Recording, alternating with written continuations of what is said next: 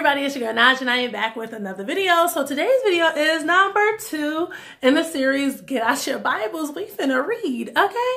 I want to thank God for giving me this revelation with the scripture that I'm getting ready to share with y'all.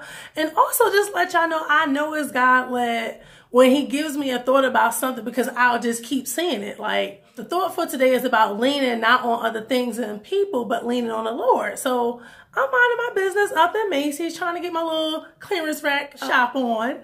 And I see a sign that says, do not lean, temporary barricade. And I was like, okay, God, that's confirmation that I'm supposed to do this video. So today. last night at church, one of the mothers broke out with the following song that I know y'all don't heard. So get y'all voices together so we can, you know, hum together. It goes, we've come this far by faith, leaning on the Lord. Y'all like that little snippet, didn't y'all? Y'all wanted more. I know you did. but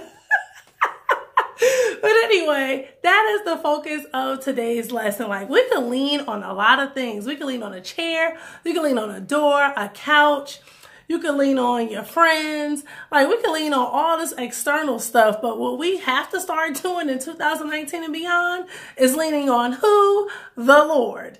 Like you can lean on a door, but that don't mean that door is gonna hold you up. If that door is not built on a solid foundation or the nuts and the screws aren't put in correctly, you are going to what? Come crashing down and fall. You can lean on that chair, but that don't mean that chair is gonna hold you up, depending on how much weight you apply to it or if the chair wasn't put together properly, again, you can what? Fall. But we can lean on the Lord. That is the message for today's lesson. And it's another song, and I believe in scripture. I just don't remember where it is.